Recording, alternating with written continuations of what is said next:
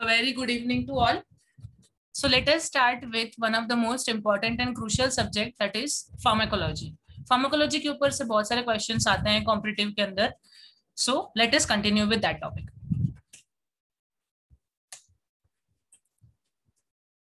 Okay, so first of all, let us understand the basic terminologies. So first is pharmacology.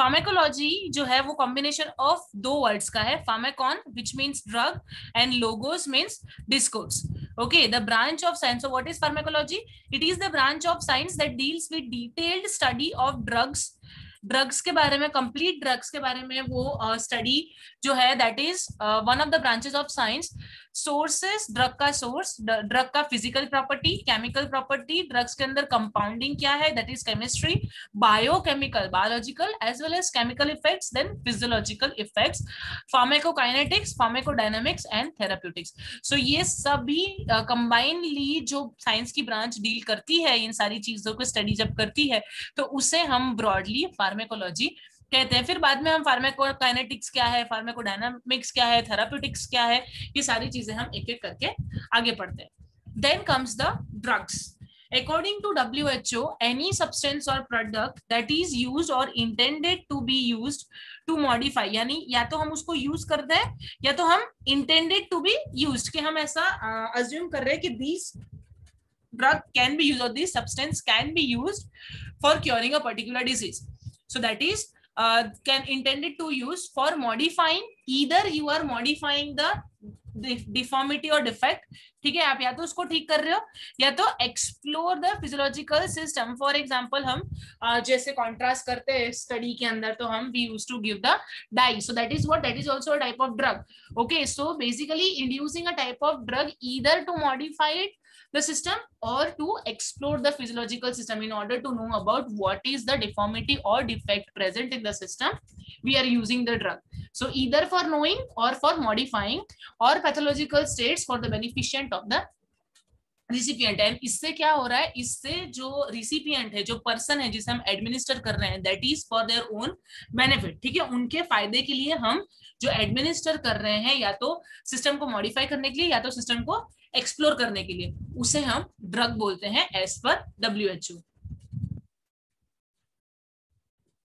coming to the next slide जो बहुत important है और यहाँ पे बहुत ज़्यादा स्टूडेंट्स को क्वेश्चन रहता है और यहाँ पे सिली मिस्टेक की वजह से स्टूडेंट्स मार्क्स भी लूज कर देते हैं। तो यहाँ क्या है? The first is pharmacokinetics and second is pharmacodynamics okay pharmacokinetics मतलब what a body does to the drug तो जैसे ही हमने ड्रग का इंटेक किया इधर बाय ओरल रूट और आईवी और आईएम या सब क्यू कोई भी रूट से हमने ड्रग को इंटेक किया इंजेस्ट किया तो पहले तो उसका एब्जॉर्प्शन होगा then it will be distributed metabolism sorry metabolism फिर distribution excretion of the drugs in relation to pharmacological response that is called as kinetics kinetics के अंदर बॉडी ड्रग के ऊपर क्या इंपैक्ट दे रहा है, क्या इफ़ेक्ट दे रहा है that is called as pharmacokinetics pharmacodynamics D D से याद रखो डायनेमिक्स यानी what the drug do to the body ठीक है what the drug do to the body is in dynamics D for dynamics D for drug does to the body तो start यहाँ पे. क्या ड्रग हमारे बॉडी पे impact ला रहा है? Okay quantitative study of biological and therapeutic effects of drugs such as such studies also elucidate the mechanism of action तो जो मैकेनिज्म ऑफ़ एक्शन है इसका ये एंटीपायरेटिक है. Okay okay? देन uh, ऐसे अलग अलग जो ड्रग एंटी है एंटासिड है. कार्डियक ड्रग्स है तो ये सब क्या है? ये डायूरेटिक है तो these are the mechanism of action तो ये ड्रग का असर क्या है हमारी बॉडी पे? That is related to dynamics और बॉडी का असर क्या है या इम्पैक्ट क्या है? ड्रग के ऊपर that is related to kinetics kinetics भी अगर इजिली आपको याद नहीं रह रहा है तो एक याद रखो, दूसरा इजिली यू कैन रिमेंबर कि डायनामिक्स मतलब what a drug does to the body okay dynamics and drug तो डी डी से आप इस तरह से याद इसको रख सकते हो। So that is about pharmacokinetics and pharmacodynamics ये देखिए, जब हम डोज को लेते हैं या कोई ड्रग हम इंजेस्ट करते हैं तो डोजिंग रेजिमेंट फॉर एग्जांपल आपको एडमिनिस्टर किया है 650 फिफ्टी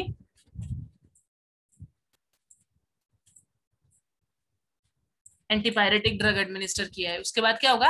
आपने उसको ओरली इंटेक किया है। ठीक है ओरल एडमिनिस्टर किया है। आपने अंडर आपने इसको इंजेस्ट किया। इंजेस्ट करने के बाद फार्माकाइनेटिक्स फ़र्स्ट ऑफ़ ऑल जैसे आपने ड्रग को इंजेस्ट किया है, वैसे ही उसका असर नहीं होगा।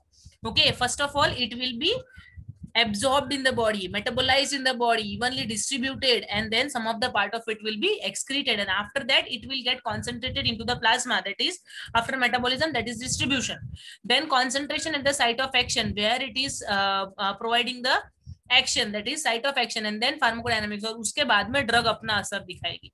Okay now the drug does to the body यहाँ पे body does to the drug यहाँ पे drug does to the body और इसके बाद पे हमको इफ़ेक्ट देखने मिलेगा दैट इज़ फीवर हमारा जो है वो लो हो जाएगा। So that is about the whole story of pharmacokinetics and pharmacodynamics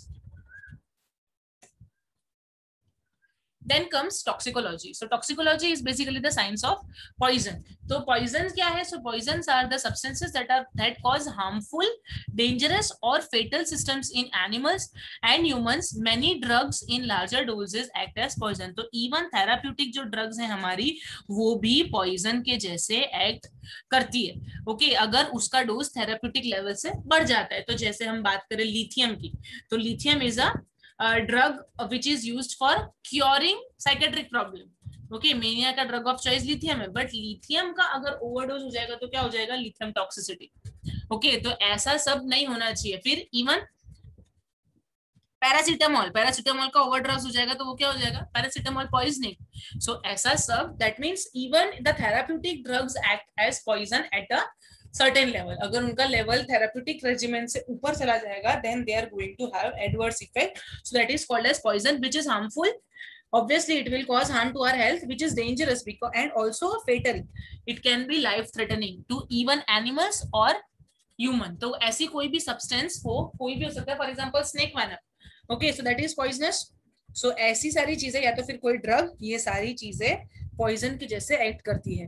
Then detection and measurement of poison as well as treatment of poison यानी कि एंटीडोट्स ये भी टॉक्सिकोलॉजी के अंदर आते हैं। तो इंपॉर्टेंट एंटीडोट्स भी याद रखना वेरी uh, इंपॉर्टेंट है। जैसे कि हिपेरिन है तो हिपेरिन का जो एंटीडोट है that is protamine sulphate okay ये सारी चीज़ें पूछते हैं बेंजोडाइजेपिन का फ्लूमाजेनिल ओके ये इसका एंटीबायोटिक है पैरासिटामोल का एन एसिटाइल सिस्टीन गोडमार्डिन का vitamin K okay so digoxin का डिजी बैंड तो ये सब क्या है? Different types of antidotes है जो थोड़े बहुत मुझे याद थे so I thought let's share and increase the knowledge so ये सारी चीज़ें भी क्या होती है? एग्ज़ाम के अंदर पूछते हैं। सो so ये सब टॉक्सिकोलॉजी के ब्रांच के अंदर अंडर में आता है।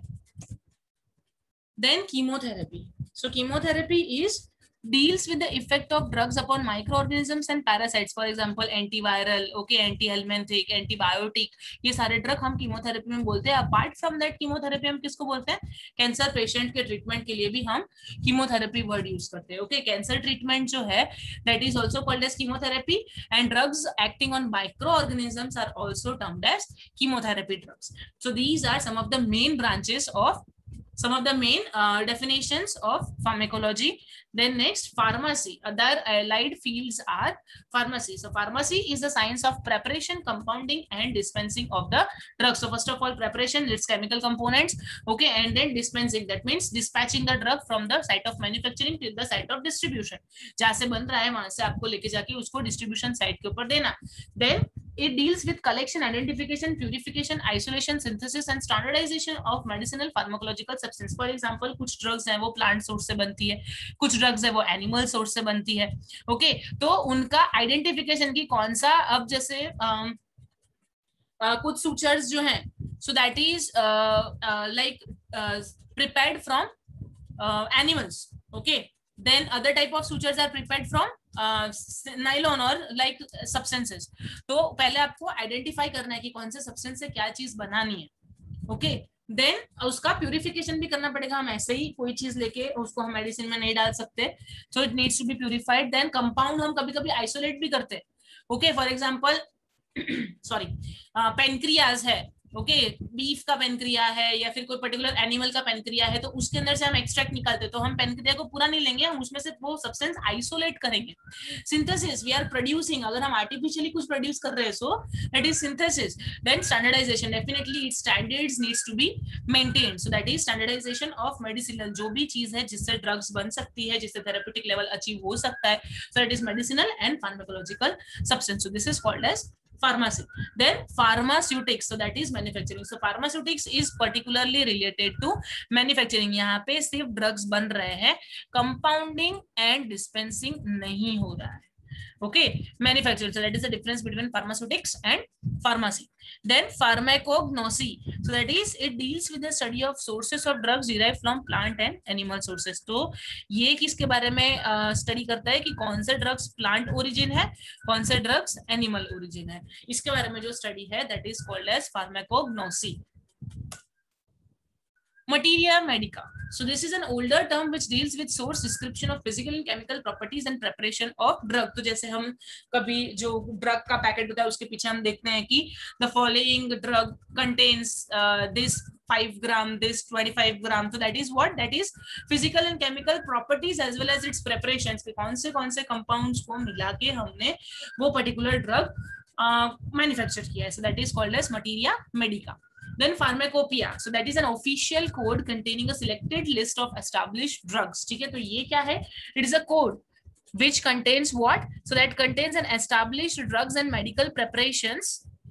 ठीक है drugs and preparation with description of their किसके बारे में डिस्क्रिप्शन दे रखा है इन ड्रग्स के physical chemical properties then test for their identity purity potency Pharmacopoeia describes the standards with these preparations must meet and may, may, may mention their average dose for adults. So dosage, okay, कैसे वो drugs prepare prepare हुई है उसका physical property, उसका chemical property, then वो कितनी purity है उसके अंदर जो extract हमने डाला है उसका जो main extract है वो कितने हद तक उसका purity and standardization maintain है वो drug कितना असर करेगी that is called as potency.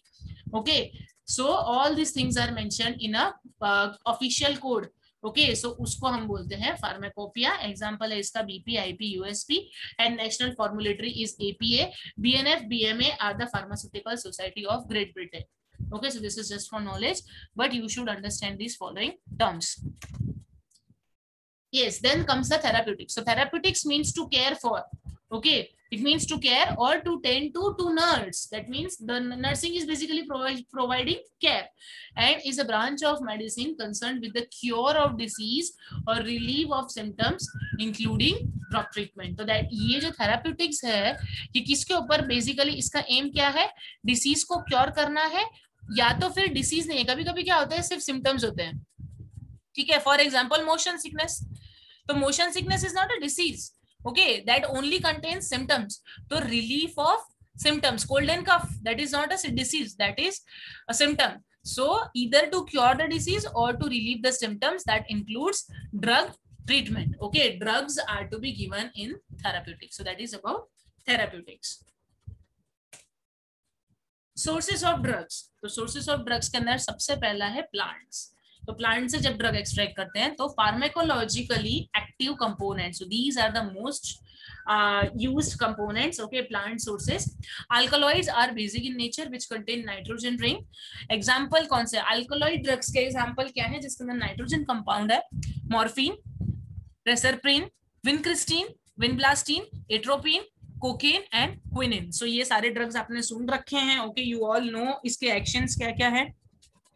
तो ये सारे जो ड्रग्स हैं, ये प्लांट सोर्स से बने हैं and these are alkaloids that means they contain nitrogen ring and they are basic in nature then glycosides glycosides का मतलब होता है एक part will be sugar and एक part will be non sugar type तो ऐसे ये दो कंपाउंड से बना हुआ है। So that includes digitoxin gitoxin gitalin digitoxigenin digoxin strepto uh, sorry stropanthin senosides so these are some of the drugs that are included in glycosides drugs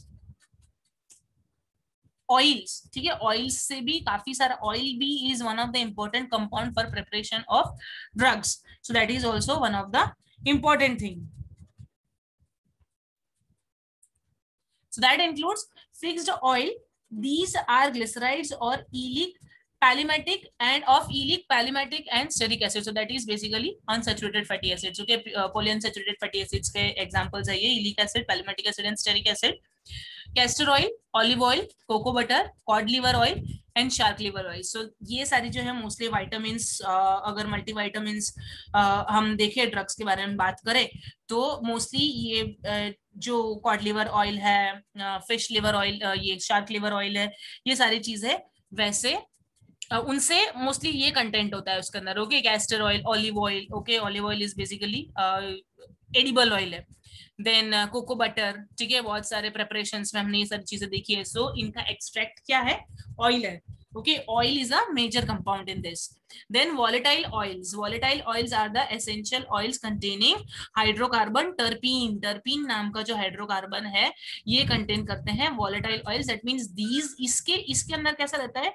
थोड़ा stickiness रहता है okay these are dry types okay volatile means easily evaporated volatile that means easily evaporated now examples क्या है इसका? Turpentine oil lemon oil peppermint cardamom and fennel clove oil तो ये सारे कैसे हैं? इससे थोड़ा बहुत ऐसे स्टिकीनेस नहीं होता है जो इन चीज़ों में होता है। मॉइस्चर का कंटेंट इसमें थोड़ा सा लेस होता है वेर इसमें थोड़ा ज़्यादा होता है okay so these are some of the examples of volatile oil then resins resins are produced by oxidation किसका? वॉलेटाइल ऑयल्स यही वॉलेटाइल ऑयल्स को हम ऑक्सीडेशन करा रहे हैं एंड इसका पोलिमराइजेशन करा रहे हैं। तो वो क्या बन रहा है? रेजिन अब इसके अंदर ऑक्सीडेशन में या तो आप O2 ऐड करोगे, ठीक है? या तो आप क्या करोगे? H2 रिमूव करोगे। So that is oxidation okay hydrogen remove भी कर सकते हो आप या तो फिर ऑक्सीजन ऐड करोगे। Different types oleoresin male fern extract for tapeworm infestation so this is use for tapeworm के ट्रीटमेंट के लिए oleoresin male fern can be used gum resin, that is asafoetida that is a carminative and antispasmodic. So, this is the action. Okay asafoetida is basically hing So that can be used as a carminative agent and antispasmodic agent. Then uh, olea gum resin that is mere local antiseptic properties and uh, stimulant used in mouthwash. Okay, so this can be used in mouthwash. Balsam benzoin used internally as expectorant. Agar aap usko ingest ho, so that is used for removing the cough and externally as astringent for drying the secretions. Okay, tolu balsam is stimulating expectorant. Then gums, secretory products and pharmacologically inert used as a suspending and emulsifying agents and tannins, non-nitrogenous astringent property. Example, amla, behra, harda. So all these are some of the examples of tannins. Animal sources. तो animal source जब आप use करोगे तो आपको इसको purification करना necessary है। Okay so example is insulin insulin हम कहाँ से एक्सट्रैक्ट करते हैं? तो पेनक्रियाज ऑफ़ बीफ ओके तो जैसे मैंने बताया कि बीफ का पेनक्रिया है या फिर आ, कोई दूसरे एनिमल के पर्टिकुलर ऑर्गन के बारे में अगर हम बात कर रहे हैं और उसमें से हमको कंपोनेंट निकालना है तो we need to extract it we need to isolate it okay we need to purify it so all this things are necessary for while extracting drugs from animal sources thyroid extract shark liver oil, cod liver oil, anti-snake venom, then hyaluronidase uh, enzyme that is obtained from testis of bull, pepsin, stomach of beef and pig. Okay, pepsin is a protein. Then surgical ligatures and sutures. intestinal tissue and tendons of animals. So sutures can are different type of tissue, uh, sutures such as catgut suture. Okay, so that is basically uh, prepared from tendons and animals tissues or basically intestine. Okay mostly जो sutures होते हैं वो intestine से ही बनते हैं। हाइलारू हाइलो sorry hyaluronidase जो है, वो एंजाइम है, ठीक है? कभी कभी बॉडी के अंदर ये भी कम हो जाता है ओके हाइलोरोनिडेज ये भी कभी कभी कम हो जाता है सो ये जो है वो बुल के टेस्टिस में से एक्सट्रैक्ट किया जाता है and this needs to be administered because of enzymatic activities have decrease so for that you need to administer hyaluronidase enzyme from human beings if you are extracting the drugs from or if you are extracting some of the components from humans. So that includes immunoglobulins. Yes, all five types of immunoglobulins you can extract from human being, human beings. Placental extract, which is particularly a stem cell that also you can take then chorionic gonadotrophin and growth hormones so these are some of the preparations which you can take from human beings okay then blood products you can remove from human beings okay so all these are the extracts which you can obtain from humans then from microorganism, from microorganisms base, yes, definitely you are going to prepare it antibiotic. Antibiotics are to be prepared from the microorganism. So that includes penicillin, then streptomycin, erythromycin, chloramphenicol, tetracycline, uh, polymyxin B, bacitracin, nystatin, streptokinase vitamin B twelve so all these drugs और यहाँ पे B twelve जो है वो S ग्राइसियस से, या तो फिर स्ट्रेप्टोकाइनेस एंजाइम जो है वो स्ट्रेप्टोकोकस पायोजनस से निकलता है। तो इस तरह से आप एंड माइक्रोबियल सोर्सेज से antibiotics you have prepared okay जो उतने भी एंटीबायोटिक्स के क्लासेस है दे आर सम वे और the other prepared from microorganisms only. So, these are the drugs which are obtained from microorganisms. Then comes routes of drug administration. So that includes local, systemic, that includes oral and parental, and lastly, inhalational. So there are basically three routes of drug administration. The first is local administration, systemic administration उसके अंदर local या parenteral फिर parenteral के अंदर I V I M sub Q? Okay intradermal ये, फिर intrathecal इंट्राइट्रियल वो सारे इसमें आएँगे। And then inhalational that means that drug is taken from the nasal route so that is inhalational local मतलब क्या? वो टॉपिकल एरिया के ऊपर पर्टिकुलरली उसी एरिया के ऊपर you have administered the drug so these are basically three sources, three routes of drug administration.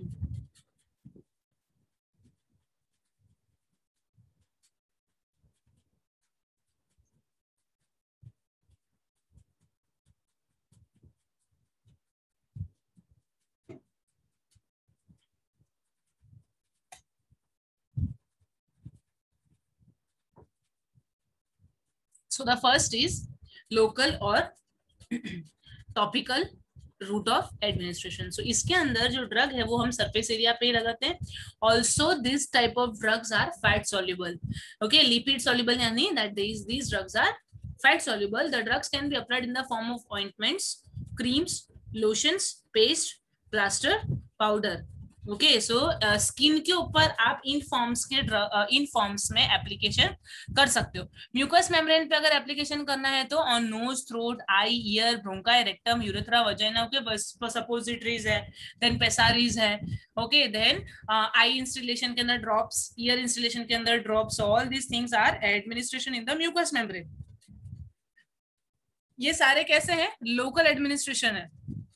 Okay, you are particularly applying on that site. So these are local or topical uh, application of the drugs. Rectum suppository, urethra, boogie, then vagina pessary and doshes and antifungal pessaries in vagina uh, candidiasis. So in vaginal candidiasis क्या होता है antifungal pessaries vagina के अंदर place करते हैं हम. So these are the local administration of drug.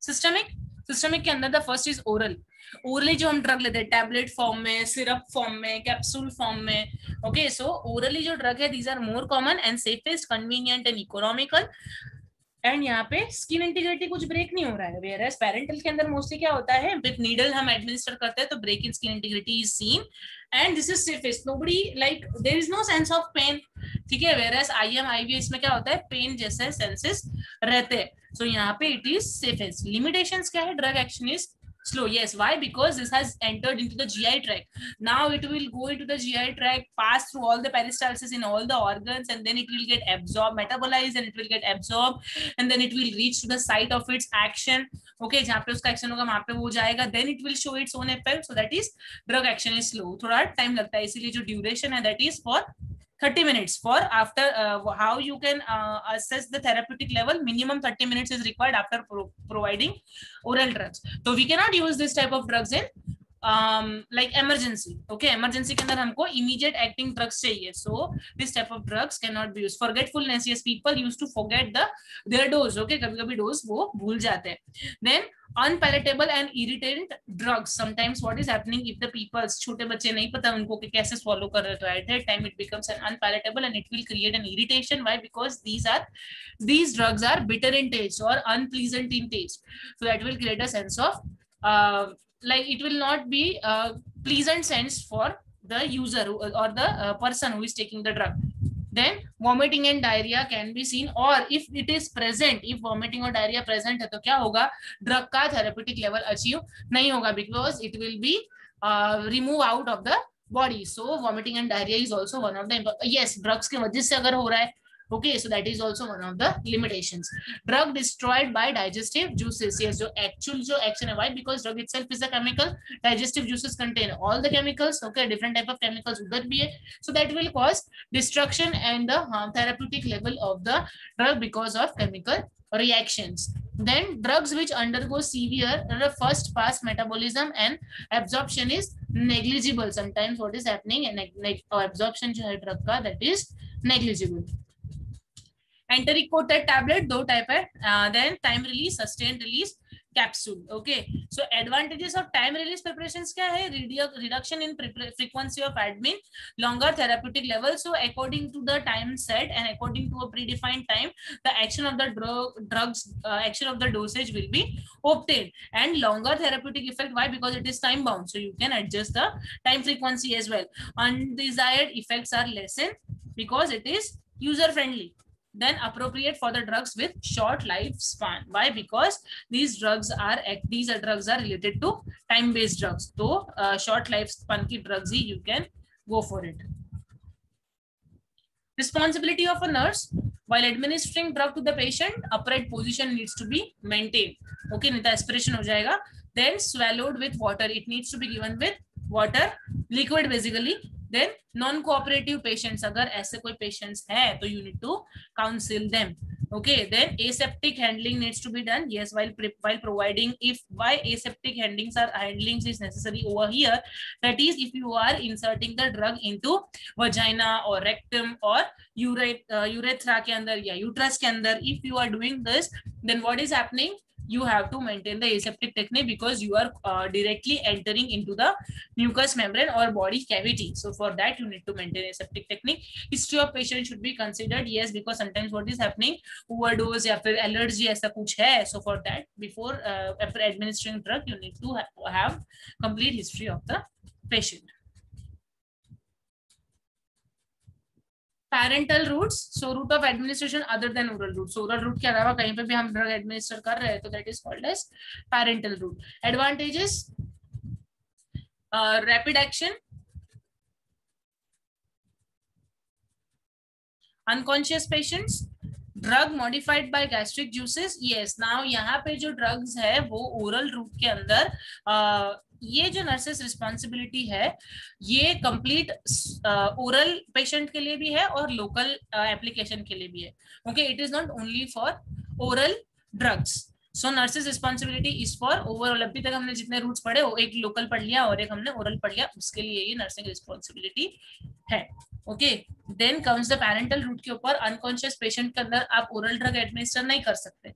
Local application के अंदर आप कर सकते हो बट लोकल एप्लीकेशन हर जगह पे काम नहीं आता है। Okay okay? तो ऐसे टाइम पे आप पेरेंटल ड्रग देना है आपको। ओके? लोकल एप्लीकेशन सपोज़ उसको सलाइन चढ़ानी है तो सलाइन तो आप लोकली कैसे एडमिनिस्टर कर सकते हैं? या तो फिर ओरली तो होगा नहीं because patient is unconscious so in that at that time what you have to do you have to go for other route that is parental route so unconscious patient के अंदर you can administer yes rapid action is there okay हमने जब जैसे हम basic introduction जब हम इसका लेते हैं, हमें पता है कि आईएम और आईवी के अंदर जो इसका जो थेरेपेटिक लेवल है वो ओरल से कंपेयर टू इजी मतलब जल्दी इसका असर होता है। So they are rapid acting drugs drugs which are modified by gastric juices so ऐसा गैस्ट्रिक जूस का कोई कंसर्न यहाँ पे आएगा नहीं क्योंकि ओरल ड्रग दे नहीं दे रहे drugs not absorb in small intestine gastric irritants are avoided मतलब गैस्ट्रिक कुछ कुछ ड्रग्स होते हैं। हम वो जब ड्रग इंजेस्ट करते हैं तो क्या होता है? बर्निंग सेंसेशन होता है। सो so, ऐसा सब कुछ भी नहीं होगा if you are administering the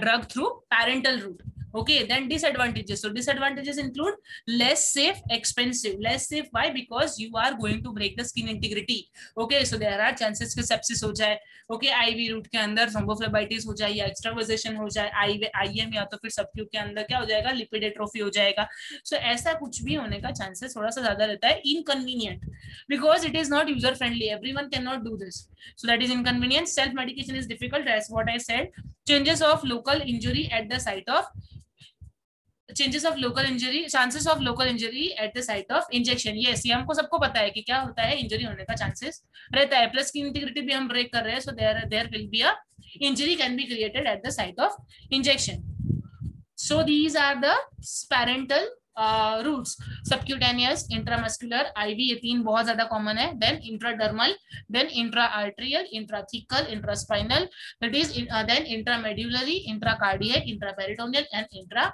articular ये सबके बारे में हम वन बाय वन आगे की स्लाइड्स में देखते हैं। So the first route of administration is subcutaneous. Subcutaneous के अंदर हम जो ड्रग uh, एडमिनिस्ट्रेशन है वो कैसे करते हैं? 45 डिग्री पे करते हैं। Okay? 45 डिग्री पे you are administering subcu and 90 degree पे you are administering IM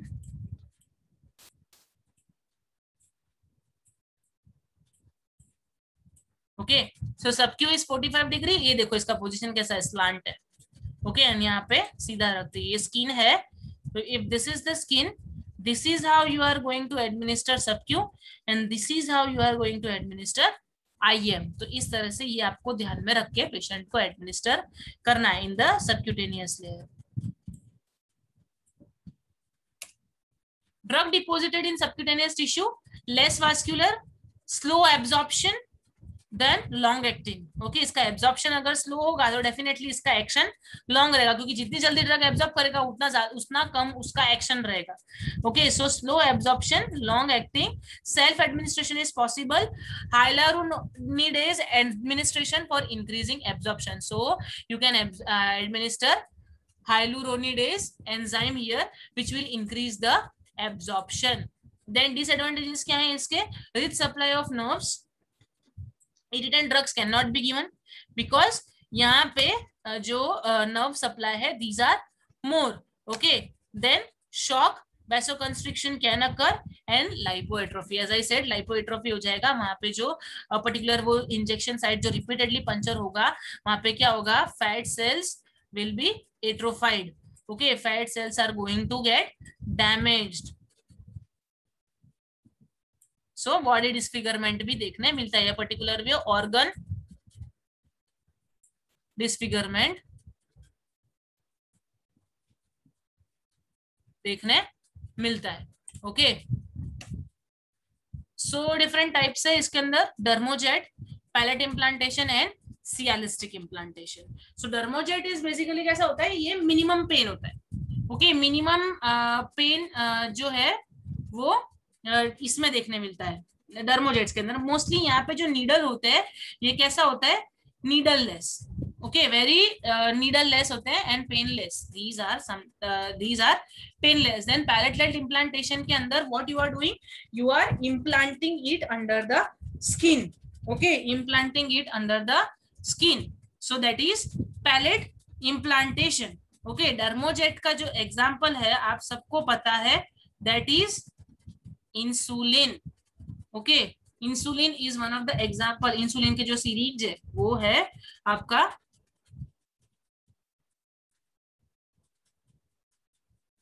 Dermojet then pellet implantation के अंदर टेस्टेस्टेरोन एडमिनिस्टर कर सकते हैं, डोका एडमिनिस्टर कर सकते हैं। So DOCA is deoxy corticosterone acetate then silastic implants के अंदर hormones and contraceptives okay contraceptives जो इम्प्लांट करते हैं that is silastic.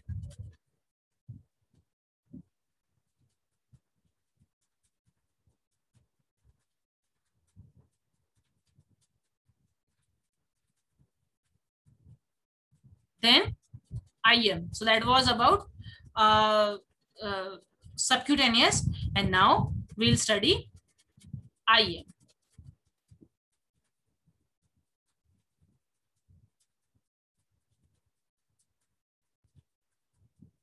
Most common site, deltoid and gluteus. Aqueous solution of drug is injected.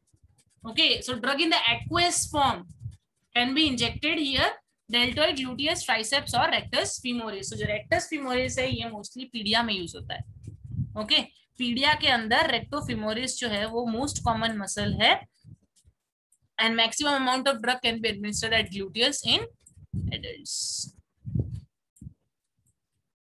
okay और कितना administer कर सकते हैं हम? तो 10 ml can be administer IM. So IM के अंदर हम, the maximum amount of drug can be administered is 10 ml. Small molecules enter plasma by diffusion. Large molecules enter by lymphatic channels. So jo large molecule hai drug ke these are uh, uh, entering into the system by lymphatic system. And jo small hai wo to normal diffusion se uh, cells ke andar enter ho jayenge plasma cells ke andar Vascular uh, more absorption. Then deltoid के अंदर हम one to two M L administer कर सकते हैं। One to two M L का जो drug है four zero point five M L zero point seven five M L उतना amount of drug can be administered at deltoid and large volumes यानी उससे ज़्यादा, दो एम एल से ज़्यादा, पाँच एम एल है, ठीक है, दस एम एल है, सात एम एल है तो ऐसे टाइप पे आपको ल्यूटियल मसल पे एडमिनिस्टर करना है। वेर एज इन्फेंट्स के अंदर ड्रग्स जो है, वो हम रेक्टस फिमोरिस मैंने पहले बताया, ये जो रेक्टस फिमोरिस है that is used for pedia patients okay ये इनमें यूज़ होता है। Advantages it is reliable and fast absorption so absorption is more here and disadvantages is it is painful yes it is going to pain because nerve ending भी present है and then it is inserting in the muscle layer ठीक है subcutaneous तो adipose tissue पे जा रहा था, ये उससे भी नीचे मसल पे जाएगा। Then may result in abscess abscess is a tender easily pressed mass okay क्या है ये? टेंडर है मतलब it is painful for by touching and then it is easily press आप इसको इजीली प्रेस करके देख सकते हो surrounded by coloured area from pink to deep red associated with inflammation okay the middle of the abscess is full of pus and debris so कभी कभी ये ऐसा पिंपल जैसे एरिया में भी ऐसा देखने मिलता है कि दैट द एरिया आगे पीछे का वो सा मास जैसा दिखता है and then it is completely filled हमारे फेस पे भी होता है कभी कभी okay then hands and legs पे भी होता है। इट इज़ आगे पीछे का जो एरिया है that varies from pink to red in colour and this is pus filled okay जो अंदर जो मिडिल पार्ट है that is filled with pus risk of nerve injury yes nerve injury is can be occur because deep in the muscles you are administering so nerve injury is possible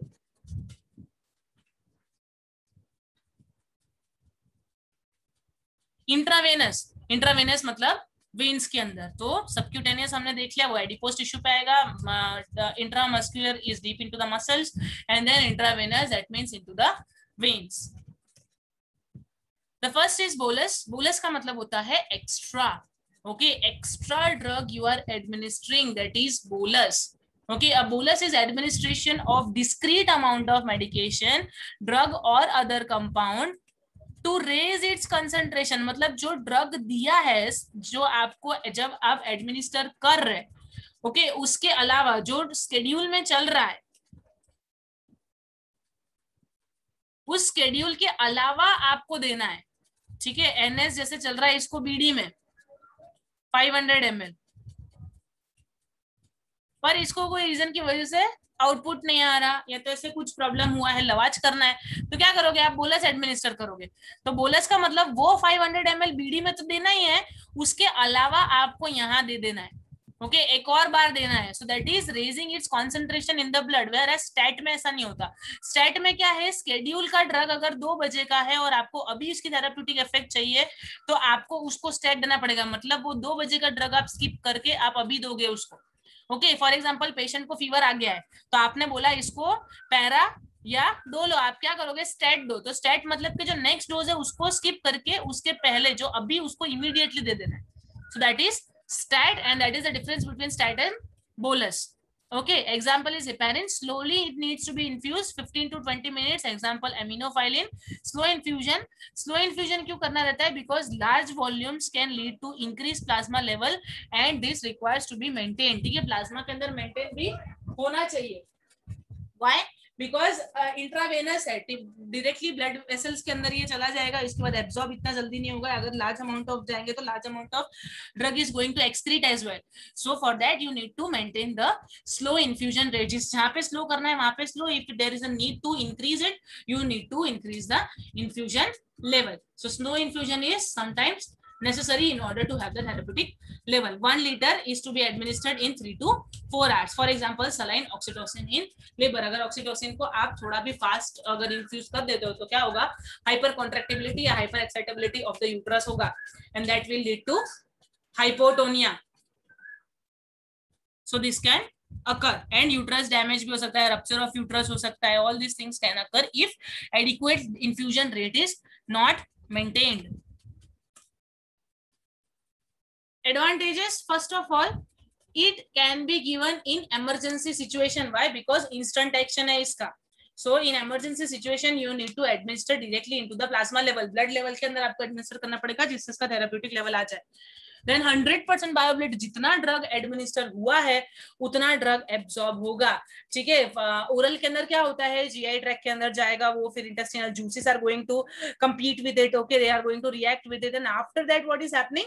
They are, that drug is, उसका जो bioavailability मतलब जितना administer हुआ था, उससे जो, उसका जो एब्जॉर्प्शन का रेट होगा that will be less whereas in I M and सब भी क्या होगा? थोड़ा बहुत एब्जॉर्प्शन के अंदर फ़र्क आएगा। लेकिन जब आप डायरेक्टली ब्लड ब्लड लेवल के अंदर एडमिनिस्टर कर रहे हो डायरेक्ट प्लाज्मा में एडमिनिस्टर कर रहे हो आप तो यहाँ पे हंड्रेड परसेंट बायोबिलिटी मतलब जितना हमने एडमिनिस्टर किया था उतने का इम्पैक्ट आएगा।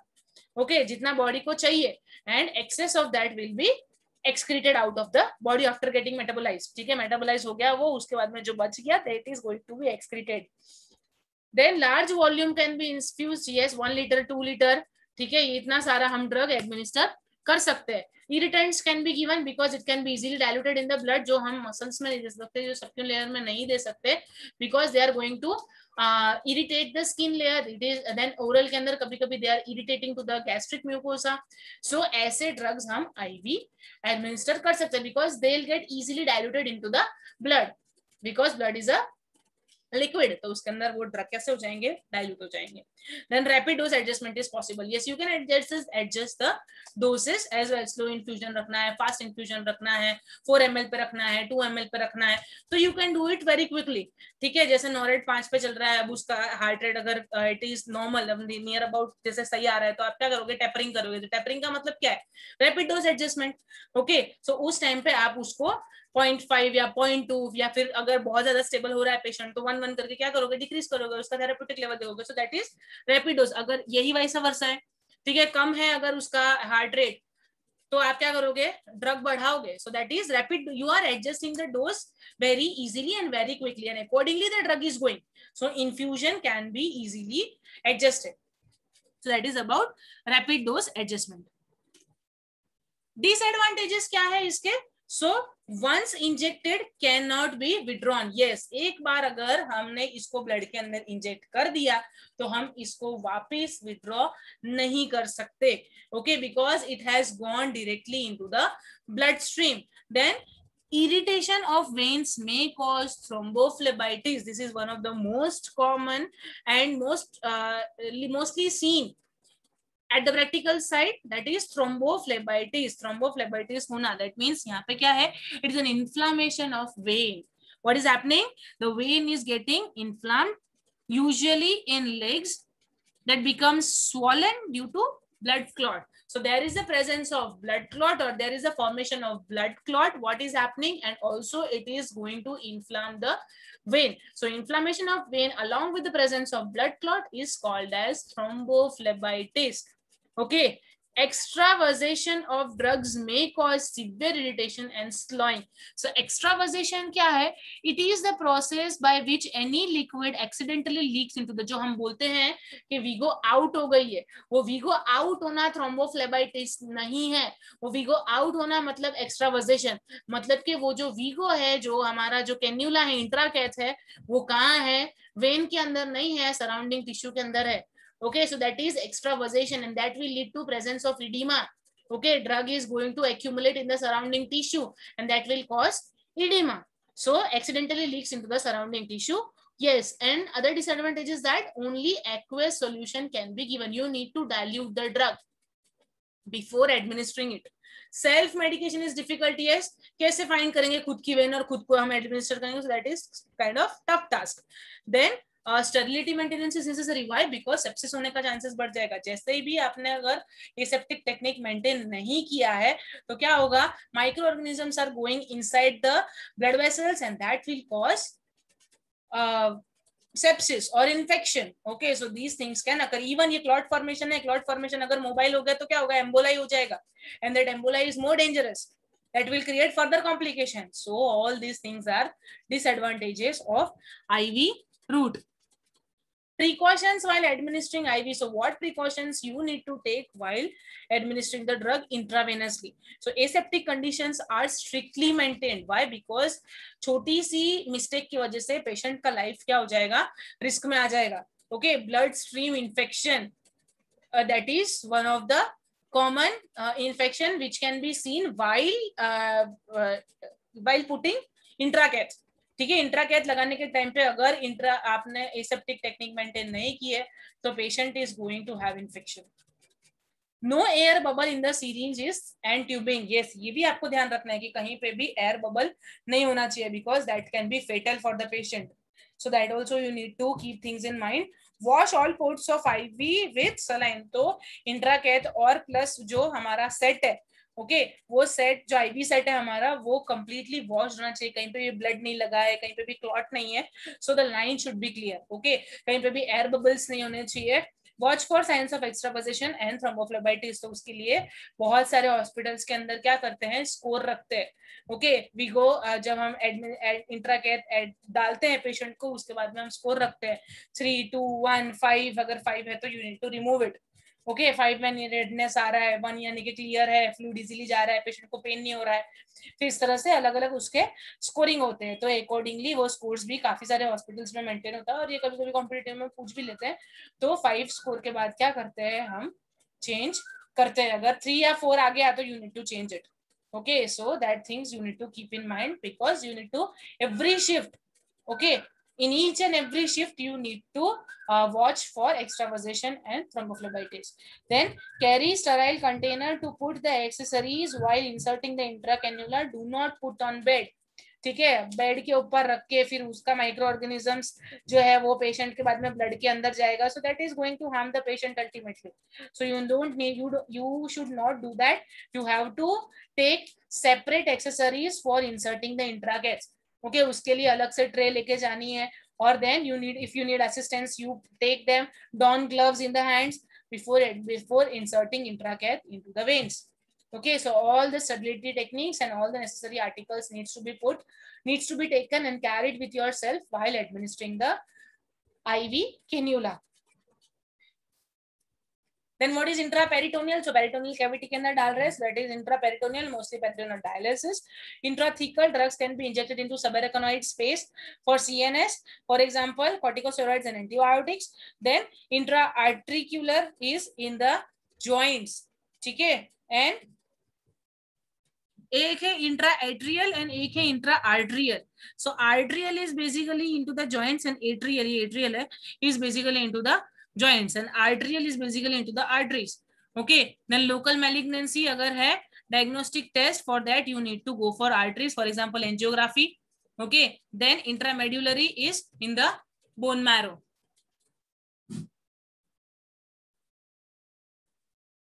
Inhalational drug तो ये था हमारा parenteral route okay parenteral route के अंदर मोस्ट कॉमन जो है, वो क्या है हमारे IV IF subQ they're inhalational drugs. Volatile liquids or gases, but suna hai sabne naam steam inhalation. Okay. Then inhalers. So all these are inhalational mode of administration of medications. So volatile liquids and gases, example, gases, anesthetics, then uh, amyl nitrate vapors of liquid anesthetics, aerosols, drugs used in bronchial asthma such as salbutamol, sodium uh, chromoglycate. So all these type of drugs can be given in the inhalational method. ठीक है ब्यूडेकोट है then है अस्तालिन है ये सब क्या करते हैं हम इनहेलेशनल रूट से एडमिनिस्टर करते हैं पेशेंट को नेबुलाइजर चल रहा है और नेबुलाइजर के अंदर we use to put that drugs and then we can administer that drugs into the aerosols forms या तो फिर गैस के फॉर्म में nitrous oxide is one of the anaesthesia जो you are giving so that is given through inhalational route so all these are some of the drugs which you can give through nasal route okay so in the form of aerosols or in the form of gas transdermal ये administering the drugs into the dermal area okay dermis में administer कर रहे हैं highly lipid soluble drugs slow and prolonged action and adhesive units can be patch जो बोलते हैं हम patch sir करते हैं कभी कभी ओके पैचेस मोस्टली किसी को मोशन सिकनेस ऐसा कुछ होता है तो हम आ, क्या बोलते हैं पैचेस एडमिनिस्टर करते हैं एंटीमेटिक्स के okay so that is a type of patch he administration metoclopramide okay इसका पैच एडमिनिस्टर करते हैं for motion sickness adhesive unit देखो ऐसा पैच होता है this is adhesive this is protective unit then release membrane drug reserve है यहाँ drug होता है and then backing advantages, potent drug. Short acting drugs can be used here. Then good patient compliance as such patient को कोई difficulty नहीं होगा, खाली patch लगा ही देना है उसको और कुछ हमको करना नहीं है. Then application of drugs by transdermal route is inunction iontophoresis and jet injection so इस टाइप से आप क्या कर सकते हो? ड्रग को एडमिनिस्टर कर सकते हो okay okay?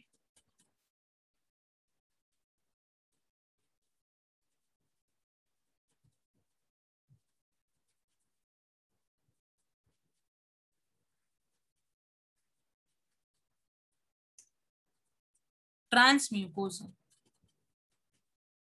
sublingual administration first transmucosal mucus membrane में ड्रग एडमिनिस्टर करना है. Okay that is transmucosal so first is sublingual administration administering drug into the under the tongue so that is sublingual administration बहुत सारे terms देखिए. Most common drug for sublingual administration is nitroglycerin Nitroglycerin is one of the most common drug which is to be given sublingually. Highly lipid soluble and non-irritating drugs like nitroglycerin, isoprenaline, methyl testosterone advantages are rapid onset of action. Degradation in stomach is prevented. Why? Because it is getting absorbed through the mucous membrane. So via mucous membrane, the drug is directly getting absorbed without getting contact in, without getting contact with gastric juices. So drug ka jo chemical uh, chemical uh, compound changes hai plus chemical reactions hai, you can prevent that as it is directly uh, getting absorbed from the mucous membrane. Then uh, it can be spitted out. Okay. Now uh, the root other roots are nasal and rectal. So rectal suppositories, rectal enema are in uh, rectal routes then nasal ke andar you are putting you are providing uh, drug into the nasal like nasal drops okay so that is nasal route yahan pe aap inhalational drug nahi likh sakte okay because your drug is not localized at the nose area that is getting inside the uh, lungs so inhalation is different from nasal nasal ke andar you can write you can go for drops because their mucous membrane is there that drops are being absorbed by the mucous membrane whereas those those aerosols and gas particles jo hain wo aapke absorb kahan ho rahe hain lungs mein jaake uska action hai okay so that is the basic difference between inhalational drugs as well as uh, direct, uh, this uh, nasal drugs nasal administration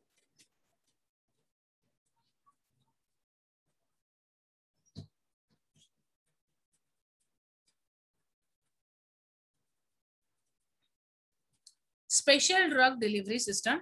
So first is Occusert, that is this type of drug is inserted into the conjunctiva. Okay, mostly glaucoma के treatment के अंदर Occusert use करते हैं in the ocular cavity. Pilocarpine नाम की drug दी जाती है. Progestat is inserted in the uterus, transdermal adhesive units and prodrug dopamine. Osmotic pumps gastrointestinal system के अंदर these type of drugs can be given monoclonal antibodies मतलब कि ये अपने बॉडी के इम्यून सिस्टम से मिलते मतलब it relates to that and then it is being prepared liposomes phospholipid suspended in aqueous vehicle taken by RES of liver and also concentrated in malignant tumour so these drugs can be use computerize miniature pumps insulin and GnRH ये सब आपने देखा हुआ है. तो these are some of the special delivery mechanisms ये देखो, ये पिलो का।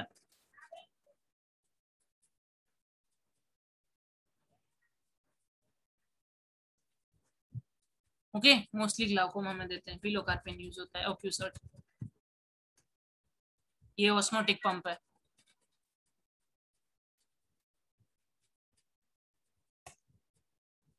What is the responsibility of a nurse to administer the drug correct route should be used so patient के rights के अंदर ये हम पढ़ते हैं right uh, route needs to be selected then oral है तो हम IV नहीं दे सकते IV है तो तब हम oral नहीं दे सकते so depending on the condition of the patient then depending on the severity of the patient's condition you need to administer the drug. Strict aseptic technique needs to be maintained while administering local drugs or parental drugs or even oral drugs.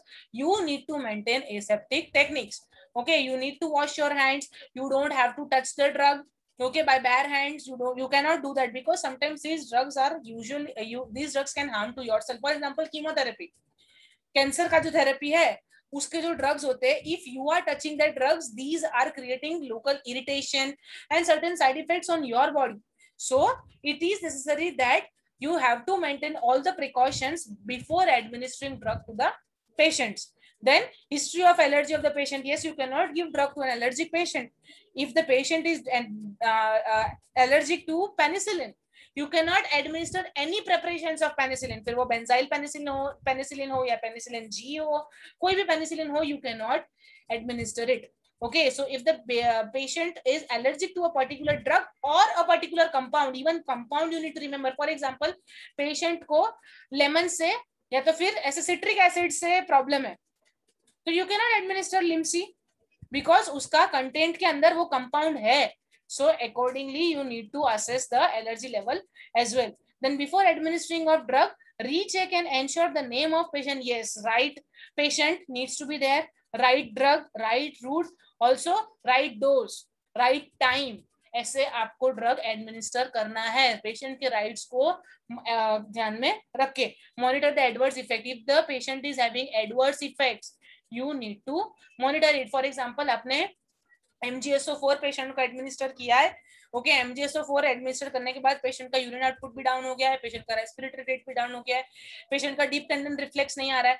That is that show sign of magnesium tox magnesium जो MGSO four है okay okay, उसका toxicity magnesium sulphate का toxicity तो immediately you need to administer the antidote calcium gluconate ठीक है? Paracetamol भी अगर आपने एडमिनिस्टर किया थेरेपेटिक लेवल से ज़्यादा हो चुका है आपको उसका एडवर्स इफ़ेक्ट अगर देखने मिल रहा है तो accordingly you need to provide other antidote drugs और you need to immediately stop the present drug आपको स्टॉप कर देना है अगर इन्फ्यूजन जा रहा है उसको तो।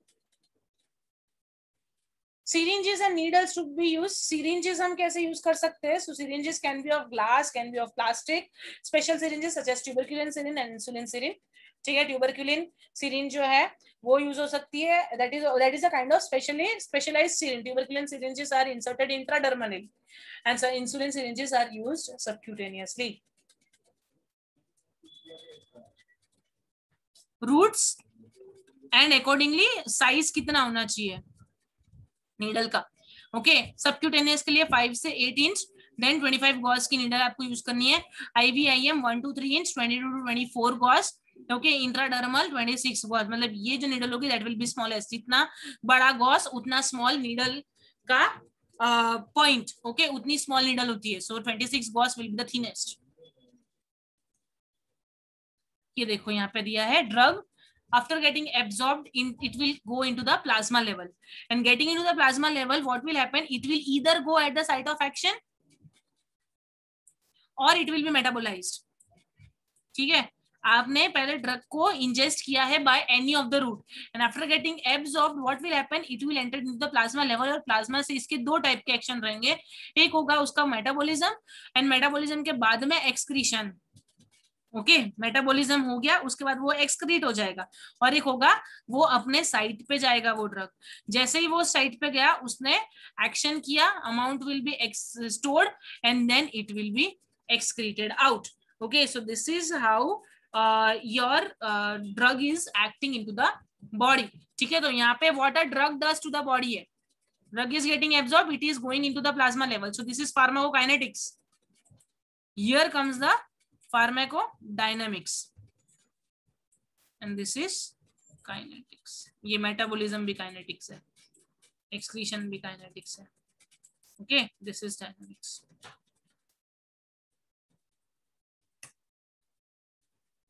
then types of transport. So the first is active transport. Transfer of drug against concentration gradient and it requires energy okay so high to low नहीं होगा हाई टू लो के अंदर यूजुअली एनर्जी की क्या ही ज़रूरत है ये जाएगा low to high against the concentration gradient and it requires energy. Example, drugs related to natural metabolites are transported by this process. Passive diffusion, movement of drugs across the membrane without need of energy. तो यहाँ पे कोई ऐसा ATP की ज़रूरत नहीं है and it is transferred uh, by without using utilization of energy. Passively it is transporting. Then absorption, passage of drug from site of administration to systemic circulation. So passage, the drug is getting passed from the site of its administration. मतलब जो site से लिया था, sorry, जो site से हमने इसको ingest किया है ओरल रूट है या फिर आईवी है या तो आईएम है वहाँ से साइट ऑफ़ एडमिनिस्ट्रेशन से सिस्टमिक सर्कुलेशन हमारे प्लाज्मा लेवल पे कब आ रहा है that is called as absorption okay तो कोई भी रूट पे एडमिनिस्टर किया हो एक्स वाई जेड उसमें से वो ब्लड में कब जा रहा है uh, that is called as absorption. Then factors affecting absorption, disintegration and dissolution time, formulation, diluents such as starch and lactose may interfere. Particle size, yes, large particle तो absorption में time लगेगा, small particles easily absorb होंगे. Okay, formulation कैसा है उसका? Precipitate form में है, liquid form में, aqueous form में है, oil form में है, कैसे form में है? ओके देन पार्टिकल साइज़ क्या है बता दिया वो मैंने। देन लिपिड सोल्यूबिलिटी कितना आपका because your cell membrane is made up of phospholipid okay okay, तो लिपिड सोल्यूबल होगा तभी वो सेल uh, के अंदर इंसर्ट हो पाएगा। So if it is lipid soluble then it can have a good therapeutic level so lipid solubility is also one of the important aspect in terms of drug absorption then pH alkaloids drug है तो if it is going into the uh, stomach then it will get Okay, so all these things you need to assess. Then ionoxetine non-acid drug are lipid solubles. Then acidic drugs and basic drugs, strong acid and basic drugs are highly ionized. That is streptomycin. Okay, so this you need to see whether it is ionized drug or whether it, it is the pH kaisa hai iska, all these things you need to see. And these are some of the factors which are going to affect the absorption rate of the patient. Sorry, this is iso ionization and unionized. है ये. This is ionization and unionize दोनों अलग अलग word है। So ionised drugs होंगे non ionised drugs होंगे। Okay so these are lipid soluble lipid soluble है तो इसका एब्जॉर्प्शन थोड़ा सा कंपेरेटिवली गुड रहेगा। Okay because cell membranes are made up of phospholipids surface area intestine okay surface area के ऊपर भी डिपेंड करता है. Amount of food taken that is also if orally drug लिया है तो वो भी एक वन ऑफ़ द फैक्टर है. जीआई मोटिलिटी गैट्रिक बताया मैंने. गैस्ट्रिक अगर ड्रायरिया वोमिटिंग हो गया है आपने ओरल ड्रग लिया है तो क्या होगा? ड्रग का एब्जॉर्प्शन नहीं होगा. Okay so also this thing also affects the uh, of the drug. Then presence of food as i said presence of food delays the gastric empty time. For example, tetracycline with milk, ampicillin, rifampicillin, well absorbed empty stomach. तो कुछ drugs होती है, वो empty stomach लेना है, कुछ drug food के बाद लेना है, कुछ ड्रग फ़ूड से हाफ़ एन आवर पहले लेना है फॉर एग्ज़ाम्पल एंटासिड्स ठीक है फ़ूड से पहले लेना है. Some of the drugs needs to be taken after the food okay खाना खाने के बाद लेना है. So that is this things is these things are what presence of food is also impacting the absorption of the drug to an extent So that is about it. Metabolism, insulin, nitroglycerin get degraded into the gut. That means these are getting metabolized into the intestine. Okay, nitroglycerin tablet, sorry, nitroglycerin जो drug है, this, then insulin, these are getting metabolized. Absorption की बात नहीं हुई, metabolism की बात हुई है यहाँ. Then disease, malabsorption, achlorhydria, So all these drugs are also going to impair the absorption of the drug. Malabsorption मतलब क्या absorb भी नहीं हो रहा है तो food ही absorb नहीं हो रहा तो drug तो क्या ही absorb होगी. Okay, so these are some of the factors which are going to impact the absorption of the drugs. So first pass mechanism. First pass metabolism है metabolism of the drug during its passage. So from the administration, from the site of absorption to the systemic circulation तो कहाँ पे हमने पहले इसको intake किया, उसके बाद में इट्स पास जहाँ से वो एब्जॉर्ब हुआ एब्जॉर्ब हुआ, उसके बाद में वो सिस्टमिक सर्कुलेशन के अंदर एंटर हुआ। That is called as first pass mechanism if the drugs are administered IV they directly enter into the body okay they directly enter into the bloodstream and then they can go into the liver and then they can uh, uh, like metabolize uh, first pass metabolism then they can be metabolized. But if you have taken orally then it will go into the liver okay and then it will go into the bloodstream.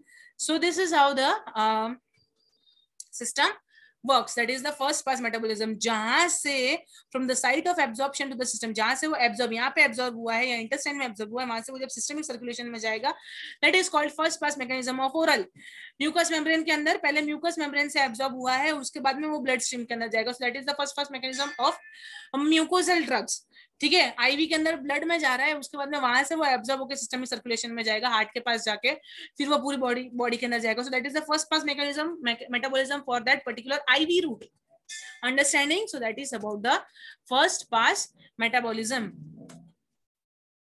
this is partial or in uh, total inactivation of drug nitroglycerin salbutamol and insulin. So these are some of the first pass metabolism ke drugs. Bioavailability bioavailability मतलब क्या है कि suppose कोई दवाई दी है तो कितना आपने एडमिनिस्टर किया है और कितना आपकी बॉडी में एब्जॉर्ब हुआ है? That is called as bioavailability हमारा बायोलॉजिकल सिस्टम के लिए वो ड्रग एक्ट करने के लिए कितना अवेलेबल है? So that is bioavailability. Fraction of drug that reaches systemic circulation after administration through any route.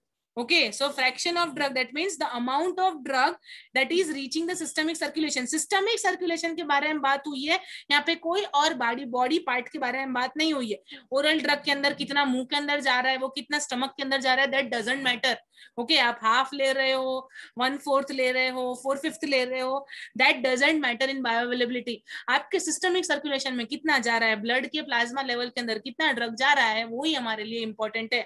That is called as bioavailability okay so bioavailability is the fraction of drug that reaches the systemic circulation after administration through any route IM administer कर लो आप उसको ivy दे दो आप उसको सब क्यों दे दो कोई भी रूट से आप एडमिनिस्टर करो उसके ब्लड में कितना जा रहा है that is called as bioavailability suppose पाँच एम दिया उसके ब्लड के अंदर दो एम जा रहा है तो उसी के अकॉर्डिंग उसकी बायो अवेलेबिलिटी होगी ओके बट ये जो आईवी है, उसके अंदर हंड्रेड परसेंट बायो अवेलेबिलिटी होती है। बोलेगी, क्यों? तो आईवी रूट के अंदर तो डायरेक्टली किसमें डाल रहा है वो? सर्कुलेशन में ही डाल रहा है। ओके ब्लड में ही डाल रहा है। So that is hundred percent bioavailability can be obtain through IV route yes in in terms of oral the bioavailability is decreased. Okay why because it has to be passed from gi tract then it needs to be get into the system and then it can be going into the systemic circulation so that is a bit long process so that is why bioavailability of iv is 100% and other drugs it is reduce bioavailability of chloroquine is 80 percent मतलब आप 100 percent drug जब administer कर रहे हो तो उसमें से कितना ड्रग हमें मिल रहा है 80 परसेंट ड्रग मिल रहा है 20 percent of drug is not available for biological effect equivalence, comparison of bioavailability of different formulation of same drug. Comparison. देखो, यहाँ पे बहुत ही क्रूशियल सा डिफरेंशिएशन पॉइंट है। बायो अवेलेबिलिटी की कंपैरिजन हो रही है different formulation of same drug एक ही ड्रग को मैं 500 सौ दूँगी, तब उसकी बायो अवेलेबिलिटी कितनी होगी? मैं 700 सौ दूँगी तब उसकी बायो अवेलेबिलिटी कितनी होगी? मैं हज़ार एम दूँगी तब उसकी बायो अवेलेबिलिटी कितनी होगी?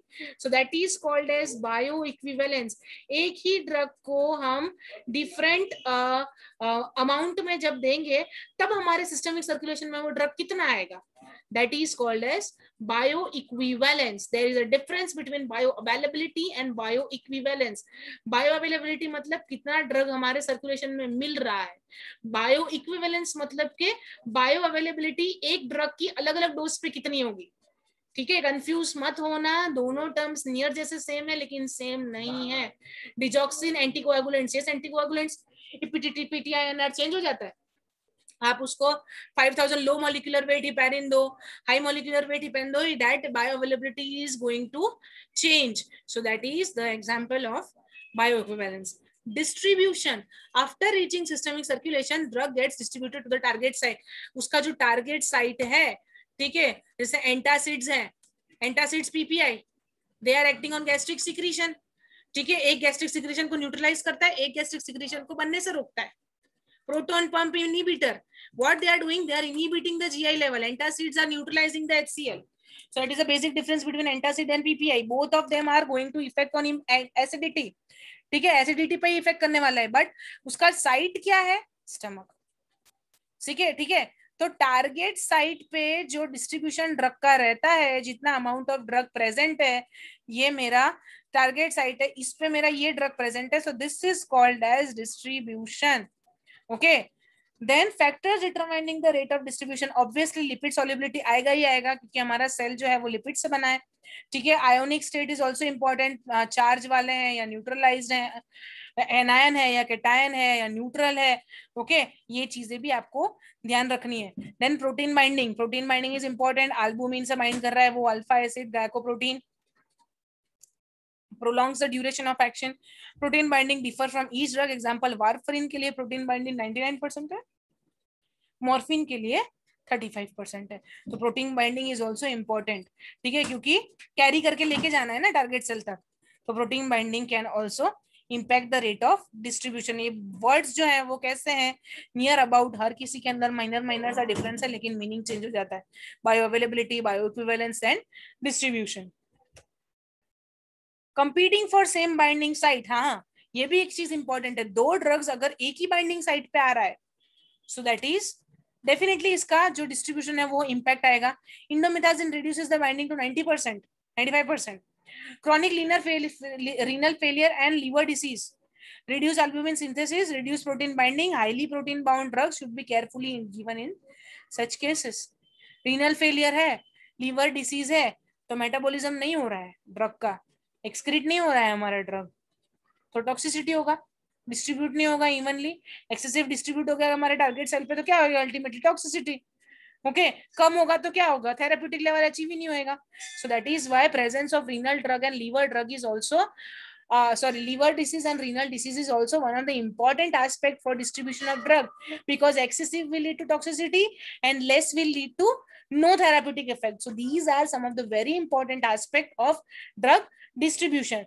Tissue binding, if it is binding to tissue, so that is also important.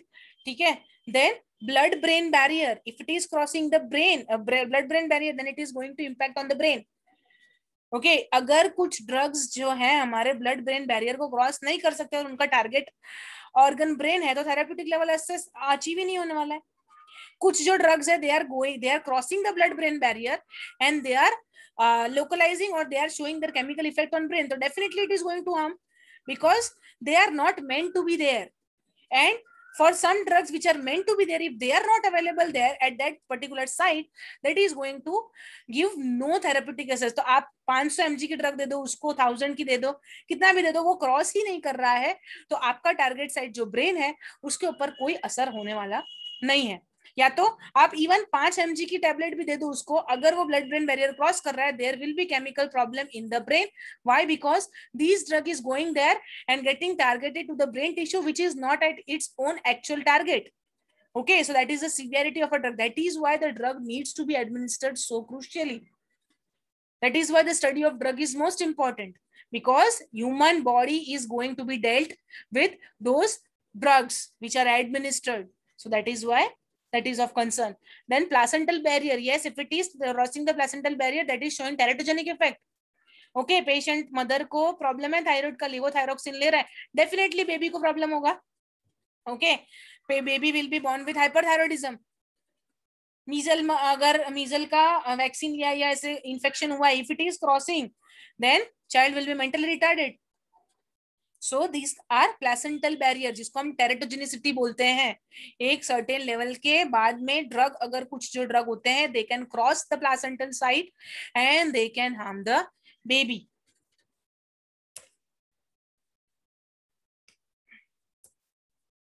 then comes the metabolism of the drug तो अभी तक हमने एब्जॉर्प्शन देखा, फिर डिस्ट्रीब्यूशन देखा, अब आएगा हमारा metabolism biochemical alterations of drug. Site will be liver intestine lungs blood and skin. So here you can see the metabolism of the drug. These are some of the most common site of drug metabolism. Biotransformation takes place in two phases phase 1 phase 2 okay bile large molecules are excreted through bile. Enzyme induction In users, rifampicin, phenytoin, phenobarbital, problems arise, drug interaction, rifampicin and oral contraceptives that are going to uh, nullify E, both of the drugs, inter, uh, uh, therapeutic level.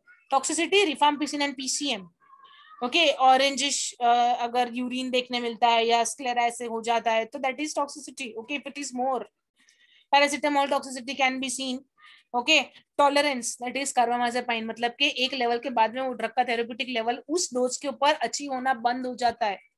That is called as tolerance ठीक है? For example आप sedative लेते तो sedative आपका दो MG से काम चल रहा है आपको। एक टाइम के बाद क्या होगा? इस दो एम की सीडेटिव यूज़ करने से आप सीडेट नहीं होंगे।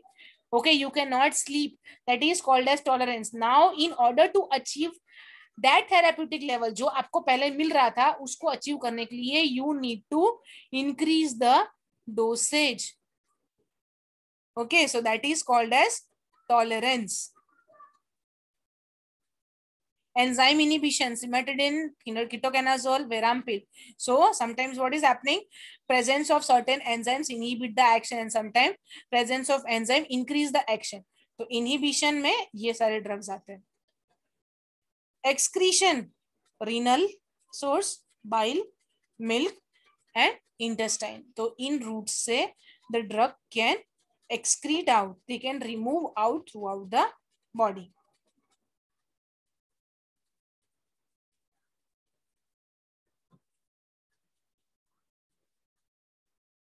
renal, glomerular filtration, active tubular secretion, passive tubular reabsorption. So if the drug is getting absorbed or if the drug is getting secreted out, you can uh, go for renal excretion. Acidic drugs, salicylates gets ionized in alkaline urine. Basic drugs, quinine, ionization in acidic. So basic drugs is getting ionized in acidic urine and acidic drugs are getting ionized in alkaline urine. Then forced diuresis, IV fluid, diuretic sodium bicarbonate. So this if you are giving, you can go for forced diuresis. You are inducing diuresis in the patient. That means inducing urine in the patient, urinating. That is forced diuresis. Fecal and biliary excretion, unabsorbed portion of drug is excreted.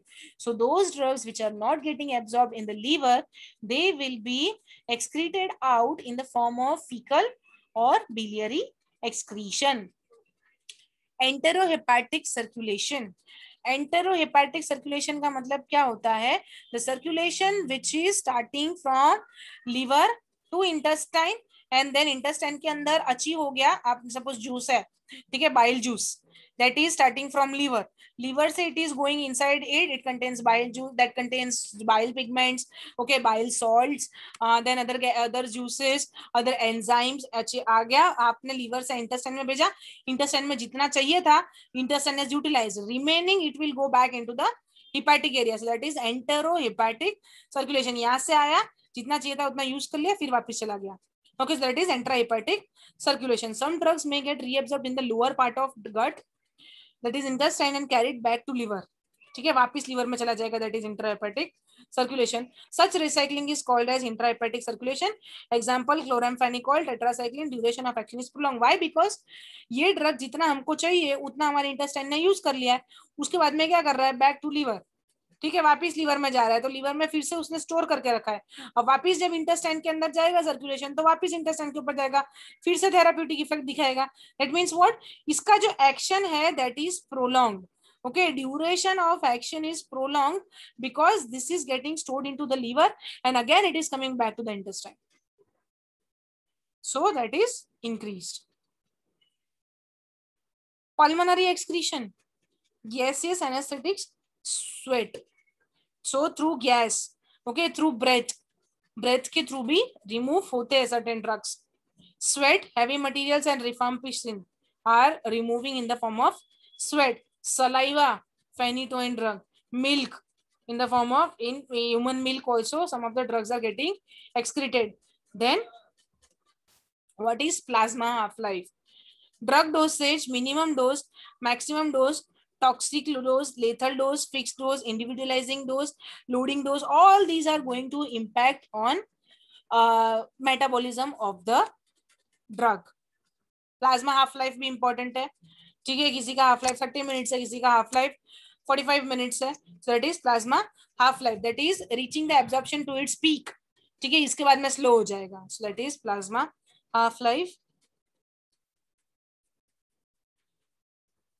then comes pharmacodynamics okay pharmacodynamics मतलब DD से मैंने बोला था याद रखना what a drug does to a body it is called as pharmacodynamics action of drug on the body and mechanism of action drug can be act by stimulation depression irritation replacement anti-infective or cytotoxic action modification of immune system so in this way the drug is going to uh, like uh, show their effect either the drug is going to stimulate the body things ठीक है stimulate कर देगी for example GI motility increase करना है। So so, आप ऐसे drugs दोगे increase हुआ हुआ है डायरिया हो चुका है पेशेंट को जीआई मोडिलिटी ज़्यादा है उसको कम करना है। डिप्रेस डिप्रेस डिप्रेशन होगा। So in this is how the drug is going to provide the action that is on the body okay that is called as pharmacodynamics site and mechanism of drug action that is local or systemic so हम पढ़ चुके हैं कि जो drug है वो हम किस किस रूट से एडमिनिस्टर कर सकते हैं। mechanism of drug action that depends on receptors ठीक है enzymes and pumps ion channels sodium potassium pump है okay accordingly different pumps के ऊपर भी uh, mechanism of action is dependent by physical action activated charcoal laxatives this can be given by physical action by chemical interaction if they are interacting into the body antacids for example they are chemical interacting then alternating altering metabolic processes so here the metabolic processes are getting changed So that is called as by altering metabolic processes. Receptor. Site on cell on which an agonist binds to bring about the change. Okay, so that means the particular drug is getting bind on the uh, on the site of the cell. Receptors are present in cytoplasm and nu nucleus. Okay, so agonist, antagonist, partial agonist. ये तीन जो है these are some of the important receptor antagonist used to block it agonist used to promote the binding okay so that is about agonist antagonist and partial agonist at some stages these are going to promote the binding and at some stages they are going to stop it okay that depends on pH temperature vary करता है। तो partial agonist को हम agonist में भी change कर सकते हैं एंटागोनिस्ट में भी चेंज करते हैं। दोनों के लिए उसको स्पेसिफिक कंडीशन होना इंपॉर्टेंट है। तो agonist will promote the binding and antagonist will inhibit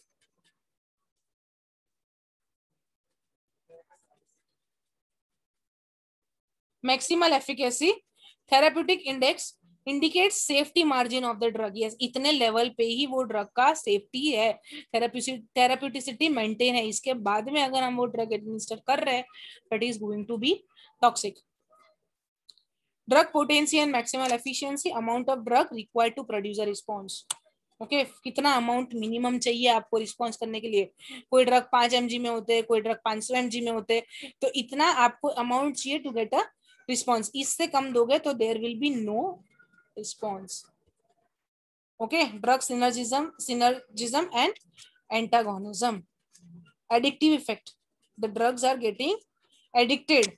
Okay, example, ephedrine and theophylline in bronchial asthma. Synergism, for example, acetylcholine and physostigmine and antagonism. So these is about drug addict addiction. Okay, additive effect. That is, they are they are getting, they are adding the impact on it. Okay, So that is, sorry, that is additive effect.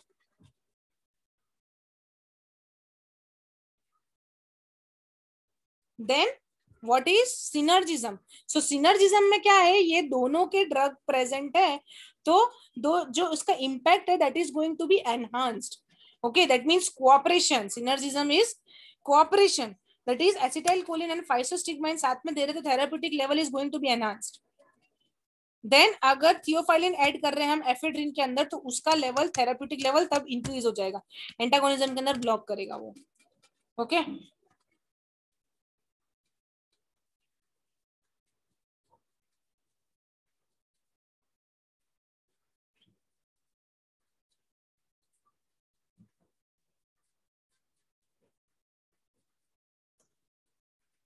antagonism chemical substances interacting chemically, resulting in inactivation of effect. मैंने बोला inhibit करता है ये inactivate करता है। Okay physiological two substances act in different side to produce opposite effect दो substance है, दोनों अलग अलग साइड पे काम कर रहे हैं and both of them are एक सपोज़ एक जो है वो इंक्रीज कर रहा है तो दूसरा इज़ गोइंग टू डिक्रीज दोनों का site of action is different but the action is opposite okay action is opposite antagonism or receptor level that is competitive and non-competitive this is agonist which is going to promote it this is antagonist which is going to inhibit it so competition is between antagonism and agonism जो यहाँ पे compete करेगा site पे वो उसका therapeutic उसका level achieve होगा suppose इसने compete किया so this is going to bind here if this has competed then this is going to block the binding of other molecules. Yes, factors modifying drug of action. बहुत important है. Body weight. Body weight in kg divided by 70 into average adult dose जब हम करेंगे तो हमको क्या मिलेगा हमको कितना डोज पेशेंट को एडमिनिस्टर करना है वो हमको ये फॉर्मूला से मिलेगा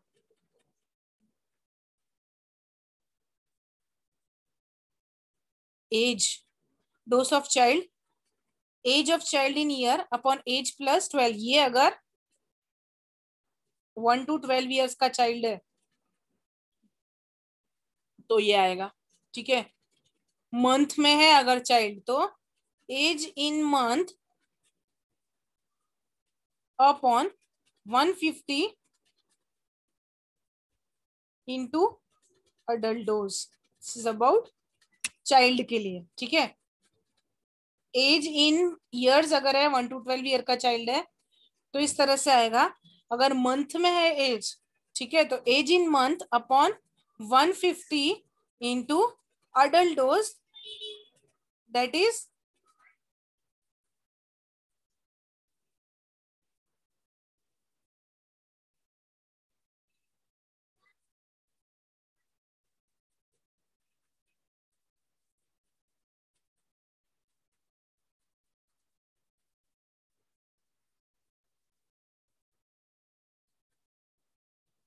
into adult dose. So this is about the age in child in month.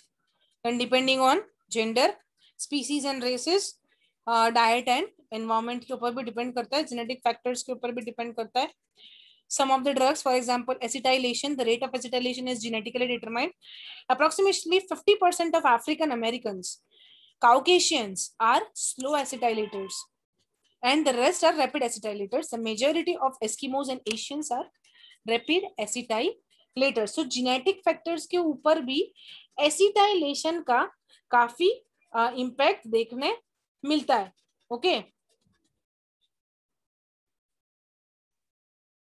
जैसे यहाँ पे बोला है कि slow acetylators and rapid acetylator so acetylation क्या है? एसिटाइल ग्रुप को हमको लाना है ओके ऑर्गेनिक केमिकल कंपाउंड के अंदर जब हम एसिटाइलेटर ग्रुप को ऐड करते हैं so that is called as acetylation तो कुछ कुछ जो है वो स्लो एसिटाइलेटर्स हैं, जैसे कि स्पीशीज के अंदर एंड कुछ कुछ जो है वो, और स्लो एसिटाइलेशन अगर है तो क्या होगा? ड्रग का लेवल हमारे ब्लड के अंदर ज़्यादा हो जाएगा। रैपिड एसिटाइलेटर्स जो है, उस वजह से जो ड्रग की जो प्लाज्मा लाइफ है, वो हम डिक्रीज कर सकते ओके okay? मतलब if if the um, if Americans and Africans are slow acetylizers, that means the drug of the drug present in their blood will be high. ठीक है ब्लड लेवल्स के अंदर इनका जो ड्रग लेवल है blood के अंदर that is going to be high because they are slow acetylators they are not going to they are not converting it elevated blood levels of drugs leads to increase in toxic reaction yes now if the drug level is increased that is going to produce toxicity atypical pseudocholinesterase G six PD efficiency बहुत सारे conditions के अंदर हम देखने मिलते हैं जिसके अंदर low level of glucose six phosphate dehydrogenase enzyme which is used for pentose phosphate phosphate pathway okay PPP में ये यूज़ होता है that is especially important in red blood cells this is pd deficiency is most common enzyme defect yes we all know that malignant hyperthermia route of administration is also one of the important factor because orally administer कर रहे हो आप IV administer कर रहे हो definitely bioavailability change हो जाएगा metabolic rate change हो जाएगा डोसेज का एक्शन का टाइम चेंज हो जाएगा। ओके okay, कितना डोज में दे रहे हो हाई डोज है लो डोज है। अकॉर्डिंगली डिसीज अगर presence of disease for example diarrhoea है cardiac disease liver disease renal disease malabsorption so drug is going to get impact here okay malabsorption है ड्रग एब्जॉर्ब नहीं होगा liver disease है drug metabolise नहीं होगा renal disease excrete नहीं होगा cardiac disease है सर्कुलेट नहीं होगा। समझ रहे हो कितना इंपॉर्टेंट है ये सारी चीजें so that is why for administering a drug all the factors needs to be considered while administering the drug okay so dose and response so initially there is no response but as the dose is to be increased there will be a response curve okay that will gradually increase the response okay then it will go at its peak Repeated dose can cause accumulation tolerance. It can be of two types natural and acquired. Tolerance developed to one effect not all. For example morphine. Then tachyphylaxis ephedrine in case of ba so all these things can occur. Okay. That if the drug is to be taken in higher amount what is happening? There will be adverse effect. Okay then what is tachyphylaxis tachyphylaxis मतलब के diminishing response of drug जिस drug के ऊपर आपने मतलब suppose 5 M पे उसका drug का रिस्पांस आ रहा है, अब आपको उतने लेवल पे उसका रिस्पांस डिक्रीज हो टॉलरेंस पे आपको ड्रग ड्रग का डोज बढ़ाना पड़ेगा। Okay in order to achieve वही थेराप्यूटिक लेवल यहाँ पे आप उतना लेवल दे रहे हो तो the response is getting decrease okay and cumulation that is accumulation of the drugs ठीक है that these drugs are getting accumulated in the इधर टिश्यूज और liver that is cumulation tolerance में required higher dose to produce easier effect tachyphylaxis में क्या हो रहा है? The response is going to decrease at five M मतलब उसको नींद नहीं आएगी। अगर फाइव एम जी नींद के लिए लेने दे रहा है तो पाँच एम जी गोली लिए तो उसको नींद आना कम हो जाएगा। So that is tachyphylaxis ADR adverse drug reaction any response to a drug which is noxious and unintended and that occurs at dose used in man for prophylaxis diagnosis or therapy so एक certain therapeutic level पे अगर आप उसको drug दे रहे हो और कुछ reasons की वजह से that drug is adversing its reaction adversing its effect therapeutic के जगह पे आपने prophylaxis के लिए लिए वो drug ये तो diagnose करने के लिए लिया है ठीक है और आपको उस वजह से क्या हो रहा है रिएक्शन आ रहा है so that is called as ADR and it is unintended okay nobody is going to intend it. Nobody is intending that. But you have taken the drug for a therapeutic level for a prophylaxis level for a diagnostic purpose. But that drug is showing some kind of adverse reaction in the body that is called as adverse drug reaction. Side effects unwanted effects of drug that are extension of pharmacological effect and are seen with therapeutic dose of drugs.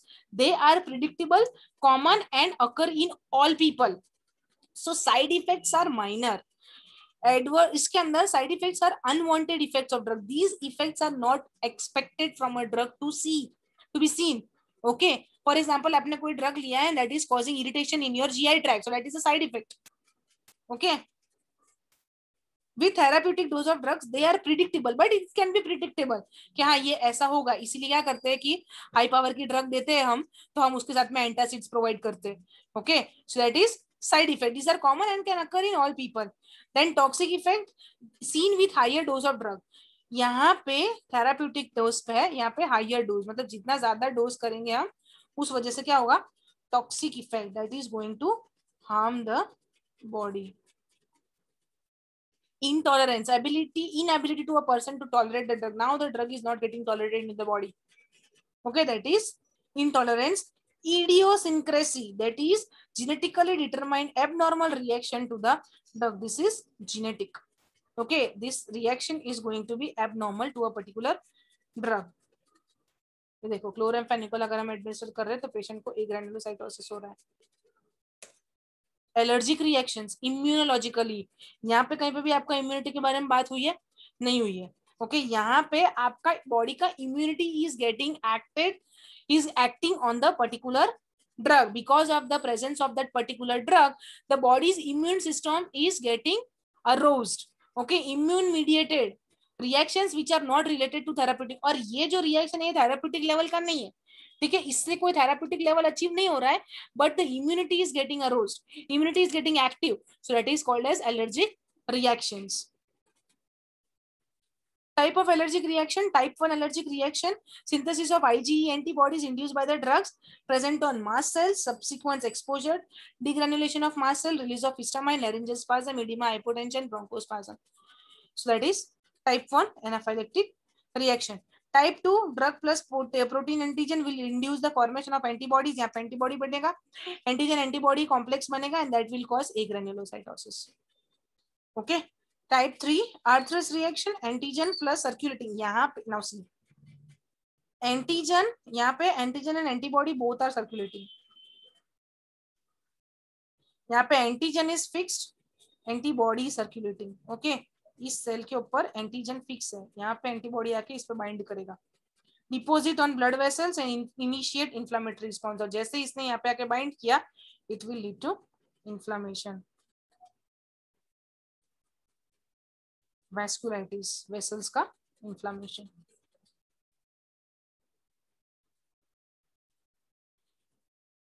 Steven Johnson syndrome severe bullous erythema multiform in mucous membrane and followed by fever and malaise. Type 4 is delayed hypersensitivity. T cells and macrophages are involved. Contact dermatitis.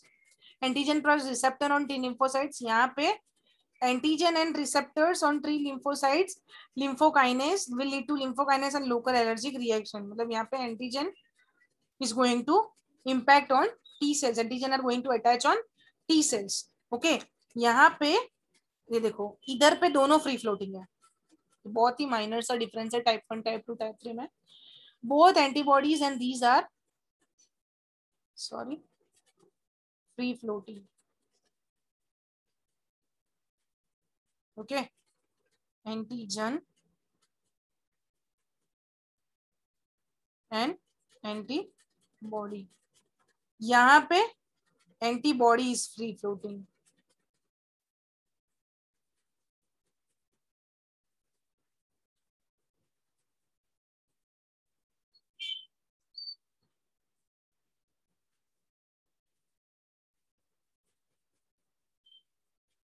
समझ रहे हो? यहाँ antibody free floating है, यहाँ antigen free floating है।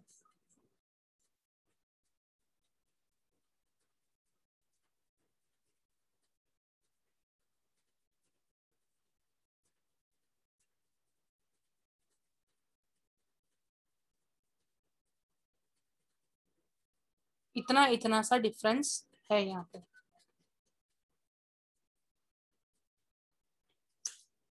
Then drug interactions. Alteration in duration of magnitude or pharmacological effect of one drug by another. So there is an alteration in the impact of the one drug. Drug का दूसरे drug के presence uh, की वजह से there is an alteration in the pharmacological effect उसका खुद का pharmacological effect क्या है उस पर there is an alteration that is called as drug interaction then it can occur in vitro and in vivo okay in vitro and in vivo हो सकता है। So that is about drug interaction की एक drug के presence से दूसरे drug का क्या इसका फार्मेकोलॉजिकल असर आएगा? किसी किसी का कम हो जाएगा, किसी किसी का इम्पैक्ट ज़्यादा हो जाएगा। Okay so that is drug interaction then in vitro and in vivo so in vitro का मतलब क्या है? Outside the living organism and in vivo outside the living organism is vitro and in vivo के अंदर inside the living organism that comes as pharmacokinetics के what the body does to a drug then pharmacodynamics मतलब after intake after getting ins, inserted into the body cavity or the body the drug is showing impact so that is in vivo that is interaction teratogenicity is the uh, drugs that can cross placental barrier rational use of drugs Rational use of drugs requires the patients to receive uh, medications appropriate to their clinical needs in doses that meet their own individual requirement. Okay, so this is the drug that is uh, used by an individual in order to obtain their requirement for an adequate period of time, particular period of time ke liye, and lowest cost for them and community. So that is why rational use of drug is important. These requirements will be fulfilled if the process of prescribing is appropriately followed. This includes Uh, first of all, diagnosis needs to be assessed. Then, uh, in defining effective and safe treatments, drugs and non-drugs, ठीक है किसी किसी को drugs के साथ में non-drug measures are also taken, so that also need to be given. In selecting appropriate drug dosage and duration is necessary. Then, uh, writing a prescription, giving patients adequate information. तो ये सारे चीज़ से आप rationalization कर सकते हैं. Rational use of drug you can go for this. Appropriate indications is necessary. Okay this drug needs to be what are the indications when these drugs are to be taken? And appropriate drugs on the basis of their efficacy safety solubility and cost considerations you can administer the drugs.